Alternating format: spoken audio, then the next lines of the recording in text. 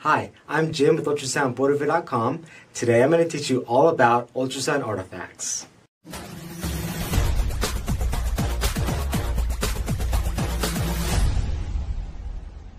Aliasing is a phenomenon in color flow and spectral Doppler that occurs when the blood flow exceeds what the ultrasound machine can detect. As a result, the machine is unable to accurately detect the velocity and direction of blood flow. In other words, the frequency has reached its Nyquist limit. This is the stage at which aliasing and range ambiguity occur, which is equal to the pulse repetition frequency divided by 2. Doppler velocity is accurately measured when each area is sampled twice. This is what the number 2 means in the Nyquist limit equation. In this diagram, the two purple waveforms represent two Doppler samples that display an accurate spectral velocity measurement on the screen. In this diagram, the smaller purple waveform represents a single Doppler sample.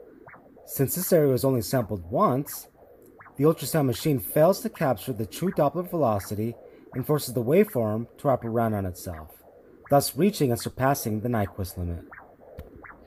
A real-life example of aliasing occurs when you're recording a helicopter taking off its launch pad. The rotor of the helicopter, which are the blades on top, spin in a counterclockwise fashion, while the propeller blades spin in a clockwise fashion. When you're recording it, at some point, the speed of the blades spinning will exceed what the frame rates on your camera can detect. So the rotor on the helicopter will begin to look like it's starting to change direction and spin clockwise, while the propeller will look like it's spinning counterclockwise. Another example is if you're looking at a two-hand analog clock in 15-minute intervals. Let's say the time is 3 o'clock, and after 15 minutes it's 3.15, 15 minutes from that is 3.30, and then 15 minutes from that is 3.45.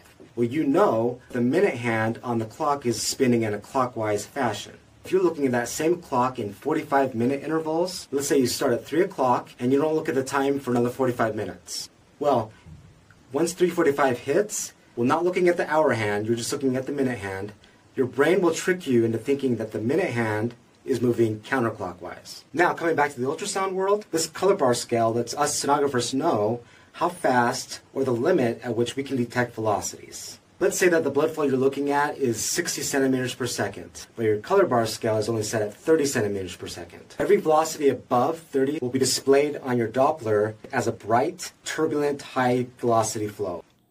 The best ways of eliminating aliasing include decreasing the pulse repetition period or PRP to increase the pulse repetition frequency or PRF and the Nyquist limit.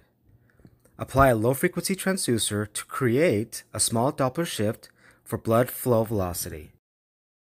You can also try choosing a shallower sample volume, changing from a pulse wave to a continuous wave Doppler, increasing your Doppler angle, which then decreases the Doppler shift for a given flow, or adjust your baseline shift. Lower shifts are less likely to exceed the Nyquist limit and therefore less likely to alias.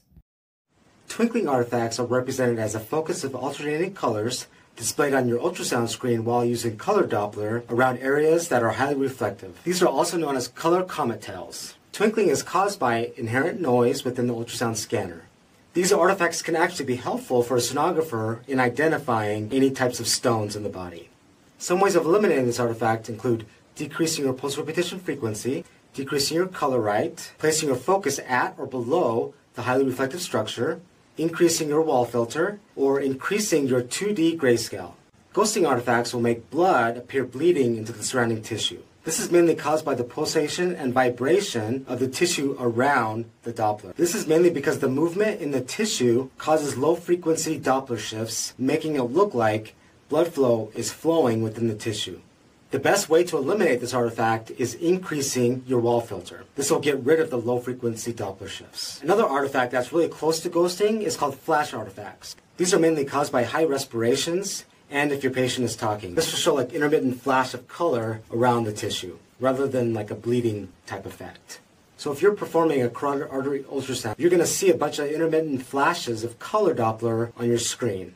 Unless you can get your patient to stop talking, the best alternative is by decreasing your color gain and by moving slowly as you investigate the area. Color Doppler mirror imaging artifacts occur in the same fashion that 2D mirror imaging artifacts occur. What happens is the pulse will come down and strike the apex of the lung, which is a highly reflective oblique surface From there, it will reflect off the subclavian artery. Portion of the beam will be reflected to the transducer, and another portion of the beam will be reflected back to the apex of the lung, and then back to the transducer. So the ultrasound machine will assume a longer traveling time than normal, and will displace that subclavian artery directly beneath the real subclavian artery. The crazy thing about this artifact is that if you put spectral Doppler in the artifact, you'll actually get a spectral waveform.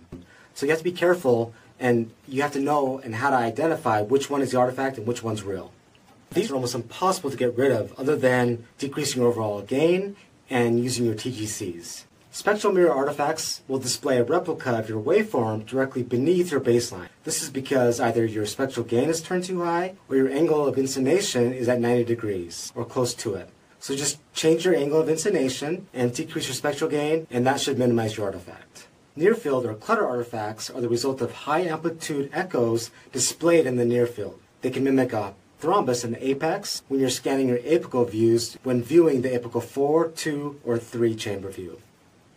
These are best eliminated when using a blood enhancing agent like Optison, Lumason, or Definity, or the use of TGCs in the near field.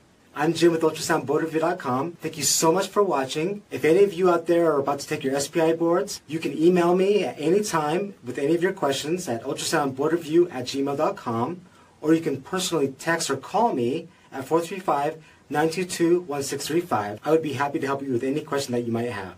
Thanks for watching.